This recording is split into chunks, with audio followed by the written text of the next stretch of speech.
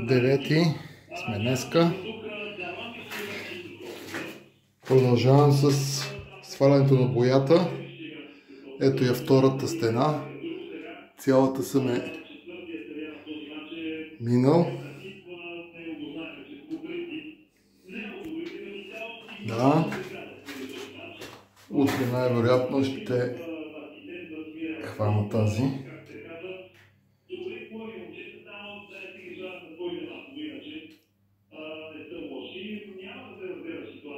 Накрая тази и най-накрая тавана.